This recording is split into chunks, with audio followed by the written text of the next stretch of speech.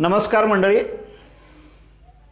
मारुती चित्तमपल्ली यांचे अनुभव विश्व भाग दुसरा आपल्यासमोर सादर करीत आहे.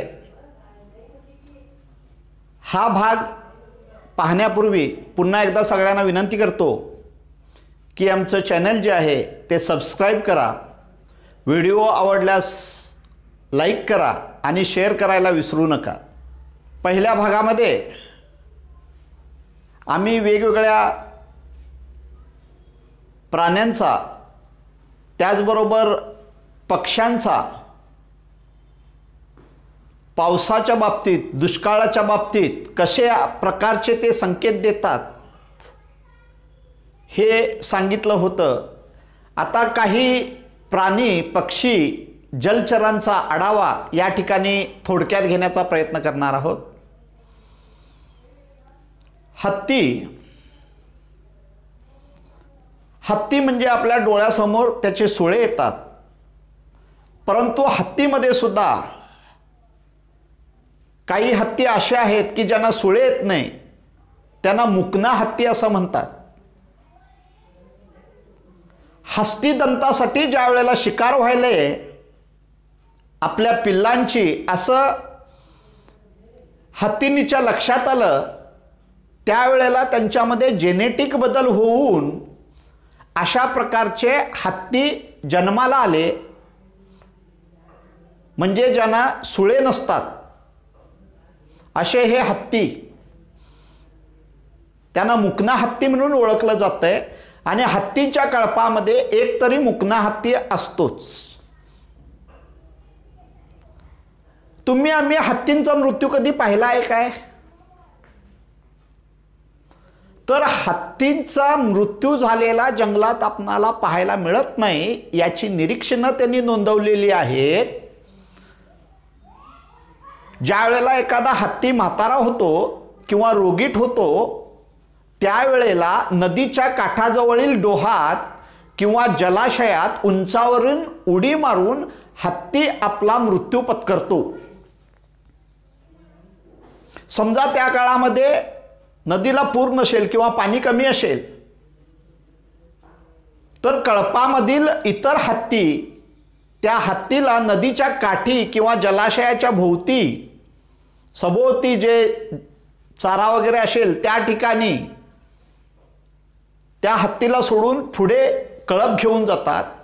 आणि जोपर्यंत नदीला पूर येत नाही तोपर्यंत तो हत्ती त्या काठाजवळ राहतो आणि ज्या वेळेला नदीला पूर येतो त्यावेळेला हत्ती नदीच्या पुरामध्ये उडी मारून स्वतःचा जीव देतो.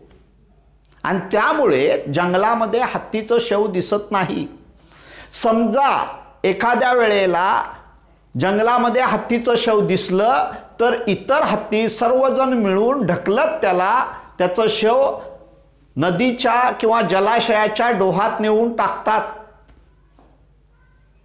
हत्तीच्या कळपांचं नियंत्रण ही नेहमी हत्तीन करीत असते आणि पूर्वीच्या काळी हत्ती पागडी जसा मोरनाची त्याप्रमाणेच हत्ती पाकडी म्हणून एक भाग या ठिकाणी त्यांनी सांगितलेला आहे की आसाम ओडिसापासून पूर्वी हत्ती महाराष्ट्रामध्ये येत असत परंतु विकासामुळे रस्ते झाले डॅम झाले रेल्वे झाल्या आणि यामुळे त्यांचं येणं बंद झालं. परंतु त्या काळात खणलेले हत्ती पकडण्यासाठी खड्डे आज सुद्धा आपणाला जंगलात दिसतात. दहा पंधरा हत्ती मिळतील एवढे ते खड्डे असतात. आणि दहा पंधरा हत्ती पडल्यानंतर हे जे शिकारी लोक असतील किंवा आदिवासी लोक असतील त्यांना लहान हत्ती पाहिजे असत आणि त्याच्यासाठी बाकीच्या हत्तींना सोडून तो त्या खड्ड्यामधील लहान हत्तीला एवढंच ते घेऊन जात असत. आणि लहान हत्तीला पकडण्यासाठी आदिवासी लोक असा आतमध्ये फासे टाकत असत. आणि आतमध्ये उतरून फासा टाकणारा जो आदिवासी असेल दुसरा आदिवासी त्याची लंगोटी जी असेल ती लंगोटी आपल्या हातामध्ये धरून ठेवत असे. त्याने लंगोटी सोडू नये याच्यासाठी यांच्यामध्ये एक नातं निर्माण केलेलं आपणाला दिसतंय आणि ते नातं म्हणजे लंगोटी पकडणाऱ्याची बहीण जी असते ती बहीण आतमध्ये जो फासा टाकणारा असतोय त्याला दिलेला असतोय. म्हणजे तो मेहुणा आणि दाजी असं त्यांचं नातं असतंय. आपली बहीण विधवा होऊ नये याच्यासाठी हे नातं ते निर्माण करीत असतात आणि अशा पद्धतीनं ते हत्तींना पकडत असतात. मुंगूस बाबत सुद्धा त्यांनी एक उदाहरण दिलेलं आहे की या मुंगसाला घार आणि गरुडाची नेहमी भीती असते. त्यामुळे रस्ता ओलांडायच्या अगोदर बिळामधून मुंगूस बाहेर येतोय आणि डोकावतोय. जर शत्रू आपल्या आजूबाजूला आहे का याची पाहणी करतोय? पुन्हा तो आत बिळामध्ये जातोय आणि धोका नाही असं सांगून आपल्या पिल्लांना बाहेर घेऊन येतोय. त्यावेळेला पिल्लांची आई जी आहे ती पिल्लांची आई त्या पिल्लांना एकमेकाची शेपूट धरण्यास सांगते आणि अशा प्रकारे एक लांब लचक रांग करून ते रस्ता ओलांडतात. समोर मोठा मुंगूस पाठीमागे आई आणि मध्ये लहान पिल्लं असतात.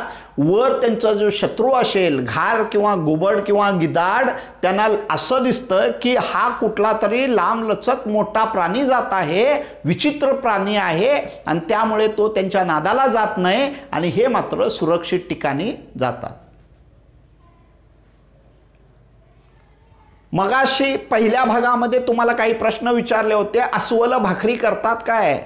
होय अस्वल भाकरी करतात. केनिस अँडरसननं असं सांगितलेलं आहे मारुती चित्तमपल्ली त्यांचा संदर्भ देतात की आणि स्वतःसुद्धा त्यांनी याचं निरीक्षण केलेलं आहे की आपली पिल्ले जी आहेत ती पावसामध्ये चरू शकत नाहीत. ओढ्या नाल्यांना ज्या वेळेला पूर येतो त्यावेळेला ते ओढे नाले पावसात पार करू शकत नाहीत आणि त्यामुळे त्यांचं कुपोषण होऊ नये त्यांची उपासमार होऊ नये याच्यासाठी ही अस्वलं काय करतात? वेगवेगळे पौष्टिक पदार्थ खातात चगळतात आणि मध खाऊन ते काय करतात? चावून बाहेर टाकतात. बऱ्याच लोकांना वाटतं की हे त्यांचं ओकणं असेल परंतु हे ओकणं नाही आहे ही एक त्यांना मिळालेली जन्मजात अशी योगिक क्रिया आहे. त्यानंतर त्यांनी चावून बाहेर टाकलेला हा जो भाग आहे तो तो पापडासारखा वाळवून ठेवतात आणि आपल्या ढोलीमध्ये किंवा आपलं ज्या ठिकाणी आश्रयस्थान आहे त्या ठिकाणी सुरक्षितपणे ही अस्वलं या भाकऱ्या नेऊन ठेवतात. या गोष्टी या परिसरातील आदिवासींना माहीत असते आणि म्हणून हे आदिवासी ज्या वेळेला ते भाकऱ्या शोधण्यासाठी जातात त्यावेळेला ही अस्वलं त्यांच्यावर हल्ला केलेले आपणाला दिसून येतात. आणि अस्वल जर एकदा अस्वलाच्या बाबतीत आणखी एक किस्सा त्यांनी सांगितलेला आहे की पिल्लं जर असतील तर अस्वल जे आहे ते अतिशय हिंस्त्र होऊ शकतंय आणि तुमच्यावर हल्ला करू शकते. परंतु या अस्वलांना दूर कसं सोडायचं याची सुद्धा माहिती एका आदिवासी मित्रानं त्यांना दिली. ते म्हणजे तीन वेळा दगड मारल्यासारखं करायचं आणि तीन वेळा फक्त दगड मारल्यासारखं केल्यानंतर ते अस्वल आपोआप निघून जाईल. गाढवाला गाढव का म्हणतात? याचं एक अतिशय छान उदाहरण चित्तमपल्ली देऊन जातात. बऱ्याच वेळेला आम्ही एखाद्याला गाढव भरपूर ओझ्याची कामं करत असते परंतु बऱ्याच वेळेला उपमा देतो. गाढवा म्हणून. परंतु गाढवाला गाढव का म्हणतात? याचं एक उदाहरण त्यांनी दिलेलं आहे. गाढवांचा बाजार जुन्नर आणि मालेगाव परिसरामध्ये भरतो या ठिकाणी तुम्हाला पाहायला मिळेल. असं सुद्धा ते सांगतात की गाढवांना एकत्र ठेवण्यासाठी हे काय करतात? की एकाच गाढवाचे पाय बांधून ठेवले जातात आणि बाकीची जी नव्याण्णव गाढवं आहेत त्या नव्याण्णव गाढवांचे पाय बांधल्याचे नाटक तो गाढवांचा मालक करत असतोय. आणि रात्रभर ती गाढवं तिथून हलत नाहीत. बघा एकाच गाढवाचे पाय बांधतात नव्याण्णव गाढवांचे पाय बांधले जात नाहीत फक्त नाटक केलं जात आहे आणि तरी सुद्धा ती नाटक त्यांना म्हणजे ते पचनी पडतंय. ती गाढवं जागा सोडून हलत नाहीत. सकाळी मात्र त्या एका गाढवाचे पाय दोरीतून सोडावे लागतात आणि इथं काम भागत नाही तर इतर नव्याण्णव गाढवांचे सुद्धा पाय आपण सोडलो आहोत आणि टॅग केलो आहोत हे दाखवावं लागतंय नाटक करावं लागतंय. त्यावेळेलाच ती आपण या बंधनातून मुक्त झालो आहे असं त्या गाढवांना वाटतंय. या ठिकाणी वानर आणि माकडं यांची वैशिष्ट्ये सांगताना चित्तमपल्ली यांनी वानर आणि माकड यातील फरक सांगितलेला आहे. वानरांना पोहता येत नाही माकडांना पोहता येतंय. वानर कळपानी राहत असली तरी एका माकडाला बघितलं तरी संपूर्ण त्यांचा कळप घाबरतोय आणि पळून जातोय असं ते सांगतात. माकडाच्या नेत्याला कपिंद्र असं त्यांनी म्हटलेलं आहे हे मागच्या भागात आम्ही बघितलेलं आहे. आता आपल्याकडे मनुष्य कोणत्या भागात राहतो त्यावरून त्यांचं खाद्य ठरलं जातं आहे उत्तर भारतामध्ये राहणारे लोक त्या ठिकाणी गहू जास्त पिकतो. म्हणून काय करतात? गहू आणि त्याच्याशी संबंधित पदार्थ खातात. किनारपट्टीत राहणारे लोक त्या भागात मिळणारे पदार्थ खाताना दिसतात. दक्षिण भारतामध्ये राहणारे लोक त्या त्या प्रदेशामध्ये जे धान्य मिळते ते खाताना दिसतात. याप्रमाणेच नागपूरकडे आढळणारी जी वानरं आहेत ती संत्री सोलून खातात. परंतु पश्चिम महाराष्ट्रामध्ये आढळणाऱ्या माकडांना संत्री खाता येत नाहीत. हे निरीक्ष हे जे चितमपल्लींचं निरीक्षण निरीक्षण आहे ते अचंबित करणार आहे. इतकंच नव्हे त्यांनी आणखी एक उदाहरण दिलेलं आहे. ज्या वेळेला माकडांना थंडी वाजते त्यावेळेला सगळी माकडं वानरं एकत्र येतात आणि अशी लाकडं काटक्या गोळा करून एकामेकावर थर रचतात आणि अर्धा तास त्याच्या भोवती बसतात आणि त्यानंतर ती निघून जातात. ती लाकडं माचीस घेऊन त्यांनी पेटवत नाहीत तरीसुद्धा ती लाकडं तुम्ही नेऊन पेटवण्याचा प्रयत्न केला ती लाकडं पेटत नाही निरीक्षण काय सांगतंय? की त्या झाडातील किंवा त्या काटक्यातील जे अग्नितत्व आहे ते अग्नितत्व ती वानर आपल्या नजरेने शोषून घेतात त्यापासून त्यांना उब मिळते आणि ती निघून जातात. अशा काटक्यांवर पेट्रोल टाकून रॉकेल टाकून ती जाळायचा त्यांनी प्रयत्न केला ती लाकडं पेटलीच नाहीत. काही काटक्या त्यांनी नागपूर विद्यापीठामध्ये दिल्या होत्या म्हणे.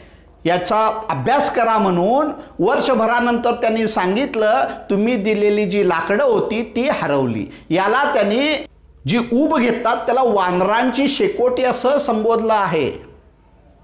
आणि यातूनच एक म्हण सुद्धा आलेली आहे आणि एका म्हातारीनं त्यांना ही म्हण सांगितली की वानरांची लाकडे चुलीला साकडे.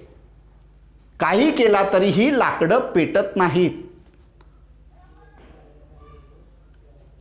आणि मगाशी सांगितल्याप्रमाणे या माकडांना अतिशय कुतूहल असतंय आणि त्यामुळे नेमकं काय घडलेलं आहे ही जाणून घेण्याची जिज्ञासा इतर प्राण्यांच्या पेक्षा त्यांच्यामध्ये जास्त असलेली दिसून येते. हरिण किंवा काळवीट यांच्यामध्ये त्यांच्या कळपाचं नेतृत्व जे आहे ती मादी काळवीटच करत असते. आणि तुम्हाला आश्चर्य वाटेल की हे हरिण जे आहे ही हरिण आपण कोणत्या बाजूला वळायचे याचा इशारा कानाना देत असते. उजव्या बाजूला वळायचं असेल तर उजव्या बाजूचा कान डाव्या बाजूला वळायचं असेल तर डाव्या बाजूचा कान किंवा समोर किंवा मागे वळवून म्हणजे कानाच्या दोन्ही कान हलवून ती इशारा देत असते. बऱ्याच वेळेला वाघ बघितलो की आम्ही घाबरतो. आपली बोबडी वळते. वाघ आपल्यावर का हल्ला करतो याचं त्यांनी निरीक्षण नोंदवलेलं आहे. मनुष्य ज्या वेळेला वाघाला बघतो त्यावेळेला तो घाबरतो आणि त्याच्या अंगाला जो घाम येतो त्या घामाच्या वासावरून वाघ ओळखतो. काय? की समोरील जी प्राणी जो आहे तो आपला शत्रू आहे की मित्र आहे. आदिवासी वाघाला घाबरत नाही त्याला अंगाला त्याच्या वाघाला बघून घामच येत नाही त्यामुळे आदिवासीवर वाघ हल्ला केला आहे असं कधी दिसत नाही. उंदीराच्या बाबतीमध्ये सुद्धा त्यांचं निरीक्षण जबरदस्त आहे. भारतामध्ये शंभर प्रकारचे उंदीर आढळतात. आणि या वेगवेगळ्या उंदरांना वेगवेगळी नावं आहेत. आपणाला साधारणतः तीनच प्रकार आहेत. प्रकार माहीत आहेत. एक उंदीर घूस चुचुंदरी. इतकंच नव्हे उंदीर चोरी करतात याचे ते साक्षीदार साक्षीदार झाले आहेत. साताऱ्यामध्ये वनाधिकारी म्हणून काम करत असताना एका पारद्यानं त्यांना सांगितलं की तुम्हाला जर मजा बघायची असेल तर रात्री एक वाजता या. साक्षात हे वनाधिकारी आणि ते प्राणी पक्षी मारणारे पारधी तरीसुद्धा काहीतरी नवीन पाहायला मिळणार आहे. हे जाणून घेण्यासाठी ते रात्री एक वाजता एकटेच गेले आणि एकटेच या अशी कंडिशन त्यांना गाठली होती. त्या पारद्यानं एक बुट्टी घेतली. बुट्टी घेऊन ते दोघं साधारण दीड किलोमीटर अंतरावर गेले. अंतरावर गेल्यानंतर एका शेताजवळ त्यानं ती बुट्टी ठेवली. बुट्टी उघडली. त्यामध्ये जवळपास शंभर उंदीर होते. हे शंभर उंदीर पटपट पटपट पट बाहेर गेले. अर्ध्या तासानंतर परत आले. परत आल्यावर प्रत्येकाच्या त्यांचे जे पाय होते त्या पायामध्ये त्यांनी तोंडामध्ये धरून काय आणलं होतं? कणीस आणलं होतं. चित्तमपल्लींना कळायला उशीर लागला नाही की या उंदरांनी बाजूच्या शेतातील कणस जोंधळ्याची कणस जी होती ती चोरी करून आणली होती. वास्तविक पाहता उंदरांना शिकवता येत नाही. तरी सुद्धा यांनी प्रत्यक्ष डोळ्यांनी ते पाहिलं होतं की उंदीर चोरी करतात. उंदीर ज्या ठिकाणी राहतात उंदीर ज्या बिळामध्ये राहतात त्या ठिकाणी त्यांच्या उंचीचा एक पिलर असतो ते बुरुज बांधतात आणि ज्या वेळेला बिळातून बाहेर त्यांना यायचं असते बाहेर येण्याच्या अगोदर हे उंदीर त्या पिलरच्या आडून आपला शत्रू पक्षी घुबड वगैरे आजूबाजूला आहे का याची पाणी करतात आणि मगच ते बाहेर पडतात. काही वेळेला त्यांचा जो बुरुज आहे तो बुरुज यांनी पाडवून पाहिला तर पुन्हा लगेच त्यांनी आपल्या स्वतःच्या संरक्षणासाठी हा बुरुज उंदरांनी बांधला होता. साप आणि धामीन यांच्या बाबतीत त्यांचं निरीक्षणसुद्धा कौतुकास्पद आहे. आपणाकडे साप आणि धामीन यांचं लाग होतंय किंवा जुगणं होतंय असं आपण म्हणतो त्यांचं मिलन होतं आहे असं आपण म्हणतो परंतु हे लाग जुगणं किंवा मिलन नसतंय तर ते झुंजणं असतंय असं त्यांचं मत आहे. साप आणि धामीन हे एकमेकाचे शत्रू आहेत. साप धामीनला खातोय आणि त्यामुळे सापापासून जीव वाचवण्यासाठी धामीन त्याच्याशी झुंजत असते. परंतु धामीन ही शेतकऱ्यांची मैत्रीण आहे असं ते म्हणतात. कारण शेत परिसरात किंवा मळ्यांच्या परिसरामध्ये जे उंदीर असतात हे उंदीर या धामिनीचं खाद्य आहे आणि त्यामुळे ते शेतकऱ्यांना उपकारक आहे असं मानतात. इतकंच कशाला? महात्मा गांधींनी सुद्धा आपल्या ग्रंथालयातील पुस्तकं जी आहेत ती उंदीर कुरतडून तोडत होते. हे ज्या वेळेला जाणलं त्यावेळेला त्या उंदरांना मारण्यासाठी त्यांनी धामीन ग्रंथालय परिसरामध्ये पाळली होती. याचं उदाहरण ते देतात. केरळमध्ये सुद्धा मारुती चित्तमपल्ली ज्या वेळेला आपल्या मित्राकडे गेले होते त्यावेळेला त्यांनी सांगितलं होतं की बाबा रे तू बाहेर झोपतो आहेस रात्रीच्या अकरा वाजता. त्या घराच्या छपरावरून एक धामीन येईल आणि ती धामीन आमच्या मळ्याकडे निघून जाईल. घाबरू नको ती आम्ही पाळलेली धामीन आहे.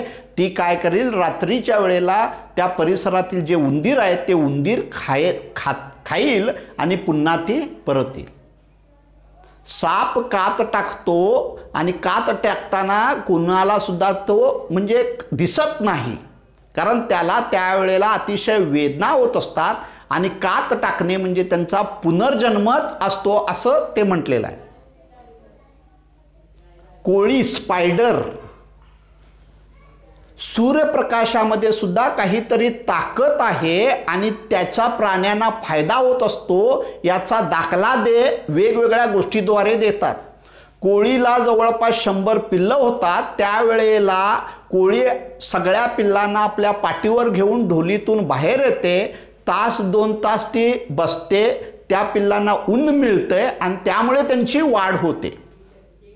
हे एक उदाहरण दिलेलं आहे. याच्याशिवाय एक दंतकथेचं उदाहरण सुद्धा त्यांनी दिलेलं आहे की एक भिक्षू रस्त्यामधून जात अस जंगलामधून जात असताना तो खड्ड्यामध्ये पडतोय ओरडून सुद्धा फायदा नसतोय कोणी मदतीला येणार नसतंय. आता जगायचं कसं हे याचा विचार करत असताना त्याला दिसतात की बाजूला जे दोन तीन बेडूक आहेत ते बेडूक बाहेर येतात आणि ते बेडूक आपली जीभ जी आहे ती जीभ बाहेर काढून सूर्यप्रकाशाकडे अशी नाचवतात आणि पुन्हा म्हणजे सूर्यप्रकाशाचं ते सेवन करतात. या बेडकांना जन्मजात प्राणायाम करता येतो हे यांचं निरीक्षण आहे. त्या भिक्षुकानं ते बघितलं की सूर्यप्रकाशामध्ये नक्की काहीतर ताकद आहे आणि तसा प्रयोग त्यानं केलं. आपली जीभ जी आहे ती आपली जीभ बाहेर काढून जगण्याचा त्यानं प्रयत्न केला.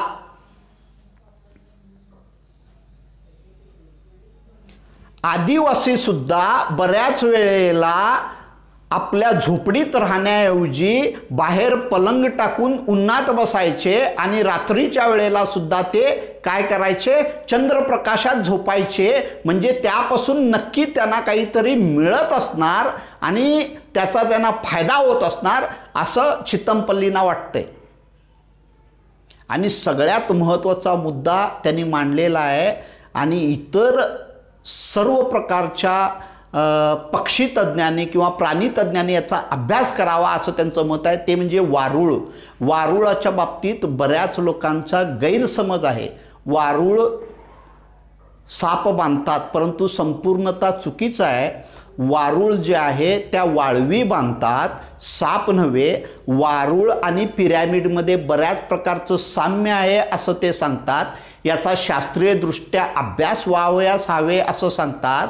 कारण त्यांनी प्रत्यक्ष या ठिकाणी अनुभव घेतला आहे की ज्या ठिकाणी वारूळ आहे त्या ठिकाणी वारुळामध्ये काय सरळ सूर्यप्रकाश आत येत नाही.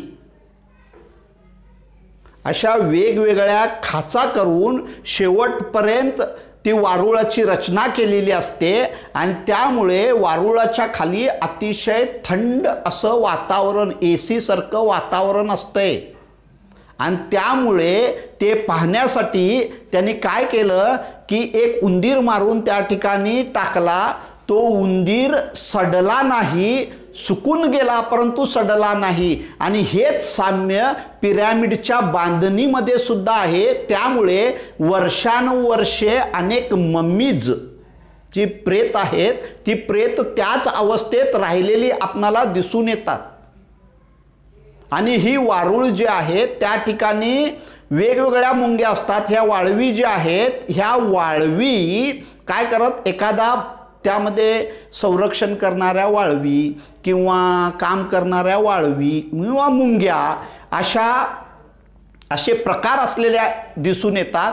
आणि अभ्यास करण्यासाठी त्यांनी त्या वारुळाचा काही भाग तोडून टाकला. तर आणि ते लांब गेले. काही मुंग्या त्या ठिकाणी बाहेर आल्या त्यांनी पाहिलं आजूबाजूला कोणी शत्रू नाही याचा अंदाज घेऊन काही क्षणात जसं होतं तसं वारुळ बांधलं. या वारुळावरून रस्ता ओळखता येतो. पूर्व पश्चिम दक्षिण उत्तर अशी दिशा ओळखता येते अशी वारुळाची रचना असते. हे त्यांचं महत्त्वाचं निरीक्षण आहे. इतकंच नव्हे वारुळ बांधण्याच्या अगोदर या मुंग्या काय करतात? खाली एक विहीर तयार करतात ज्यातून आपली लाळ व माती मिसळून वगैरे नंतर ते काय करत असतात? या वारुळाचं कन्स्ट्रक्शन करत असतात. आणि वारुळ ज्या परिसरामध्ये आहे त्या परिसरामध्ये तुम्हाला शंभर टक्के पाणी भेटणारच असं ते सांगतात. वारुळामध्ये सगळं स्त्रीचं राज्य असतंय मादीचं राज्य असतंय नर वाळवीला प्रवेश नसतो.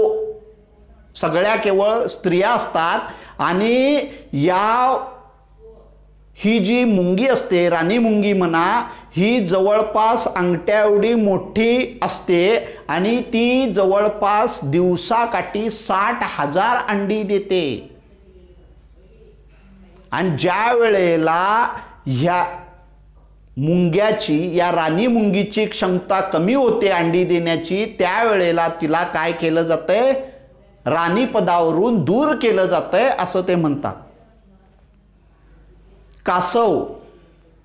कासवांबद्दलचं निरीक्षण सुद्धा ते फार महत्त्वाचं आहे की विदर्भामध्ये जमिनीत राहणाऱ्या जे कासव आहेत त्याला कासव म्हणतात आणि पाण्यात राहणारे जे कासव आहेत त्यांना चाम म्हणतात आणि असा प्रकार विदर्भातच आढळतो. पहिल्या भागातील एक प्रश्न आठवा कासव झाडावर चढू शकते काय?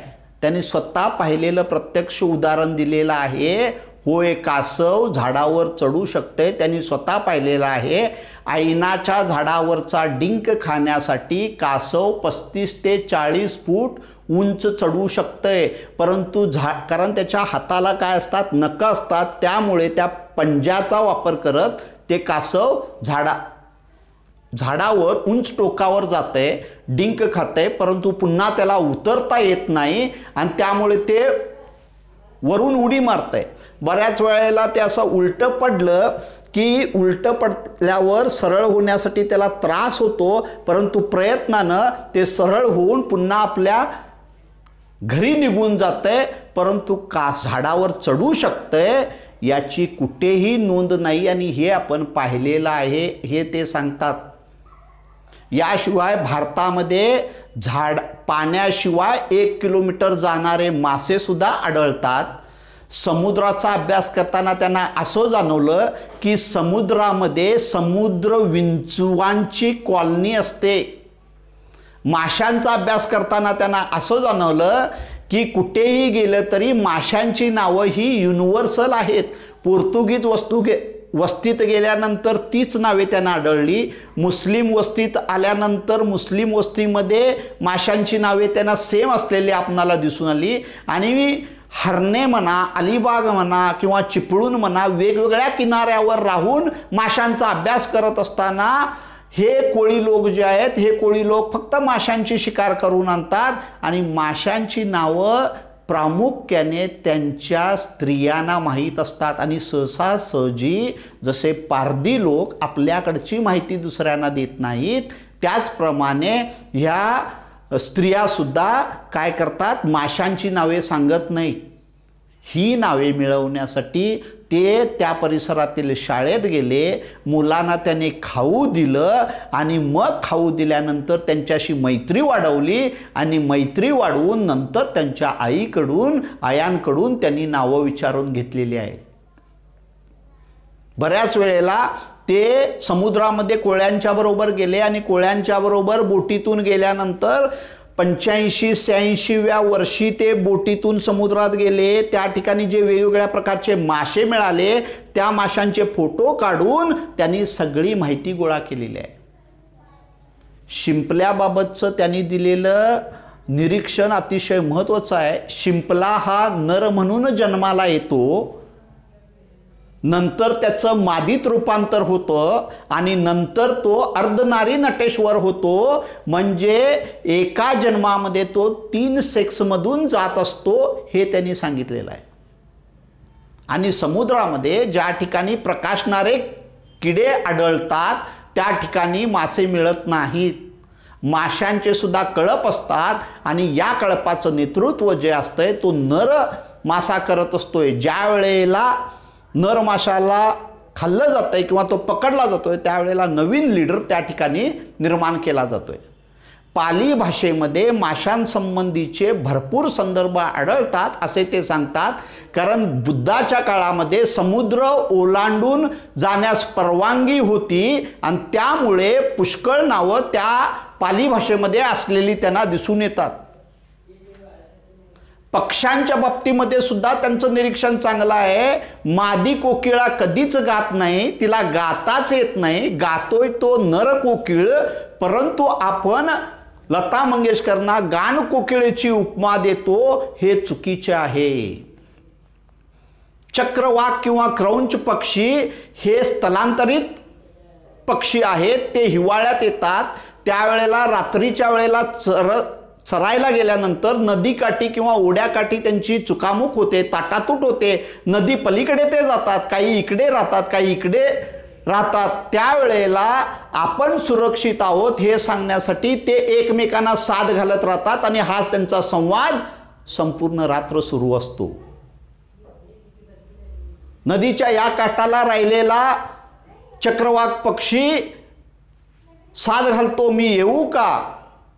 आणि त्याची पत्नी असेल ती काय करते? त्या बाजूला असेल तर ती म्हणते नको येऊ रात्रभर असा संवाद सुरू असतो. मी येऊ का? ती म्हणते नको येऊ. सूर्य उगवला की पुन्हा दोघं एकत्र येतात आणि निघून जातात. गिधाडे का नष्ट व्हायलेत? यासंबंधी सुद्धा त्यांनी निरीक्षण नोंदवलेलं आहे. बारा बलुतेदार पद्धती होती. जनावर मिळलं की गिधाड पागडीवर नेऊन जे गिधाडपाड किंवा डोंगर असायचे त्या ठिकाणी मेलेलं जनावर त्याचं चामडं सोलून घेऊन त्या गिधाड्यांना खायला घालण्यास येत असे परंतु कालांतराने हे बंद झाल्यामुळे काय झालेलं आहे? ही सगळी गिधाडं काय झालेली आहेत? मरण पावत आहेत त्यांचं कुपोषण होत आहे असं ते म्हणतात बऱ्याच वेळेला. काय? जनावरांना जे किंवा अलीकडे जनावरं पुरण्यात येत आहेत त्यामुळे गिधाडं नष्ट होत आहेत. सारस पक्षामध्ये त्यांचं स्वयंवर होतं. ते एकत्र येतात नाचताच त्यांची जोडी जमते आणि ते नंतर एकत्र राहू लागतात. परंतु सारस पक्षामध्ये नर किंवा मादी दोघांचं निधन झाल्यास तो किंवा ती आयुष्यभर एकटेच राहतात दुसऱ्यासोबत राहत नाहीत. किंगफिशरला त्यांनी खंड्या हा शब्द वापरलेला आहे. हा समुद्राकाठी राहतो आणि याचं घलटं जे आहे ते माशांच्या काट्याचं घलटं असतात. आणि हे घलटं ओढ्याच्या किंवा नदीच्या काठावर असलेल्या दळडीकडे मा ते ज्या माशांना मारतात त्या माशांच्या काट्यानेच ते घलटे बांधतात. वाघूळ भारतामध्ये जवळपास एकशे पन्नास प्रकारची वाघळं बॅट्स आढळतात आणि वडाच्या झाडावरही अधिवास करतात म्हणून त्याला वटवाघूळ असं शब्द वापरलेला आहे. परंतु भारतातील पुष्कळ लोकांना हा पक्षी आहे की प्राणी आहे सस्तन प्राणी आहे हेच माहीत नसतंय असे ते सांगतात. हंस पक्षी आर्टिक प्रदेशामधून येतात आणि तेथे त्यांची वीण होते. लोकमान्य टिळकाने आर्टिक होम इन वेदाज हा ज्योतिषशास्त्राच्या आधारे पुस्तक लिहून मॅक्स मुलरला पुरावा दिला होता. आणि आर्यांचं मूळ निवासस्थान हे आर्टिक प्रदेश आहे असं सांगितलं होतं. परंतु मॅक्स मुलरनं हे मान्य केलं नव्हतं. परंतु यांनी अ, त्याला एक उदाहरण दिलेलं आहे. की राजहंसाचं किंवा हंस पक्षाचं वर्णन ऋग्वेदामध्ये आलेलं आहे. ती घरटी कशी बांधतात त्यांची वीण कशी होते पिल्ले कशी होतात आणि या सगळ्या रुचा आर्यानी ऋग्वेदामध्ये लिहिलेल्या आहेत.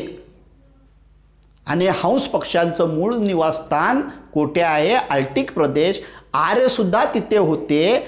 त्यामुळेच ऋग्वेदात असे उल्लेख आले आहेत. त्यामुळे अप्रत्यक्षरित्या वेगळ्या पद्धतीनं आर्यांचं मूळ निवासस्थान हे आर्टिक प्रदेश आहे हे चित्तमपल्ली सांगतात.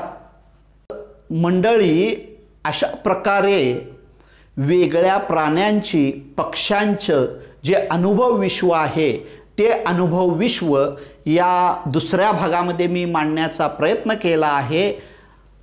जर तुम्हाला हा व्हिडिओ आवडल्यास तुम्ही नक्की लाईक करा शेअर करा. धन्यवाद.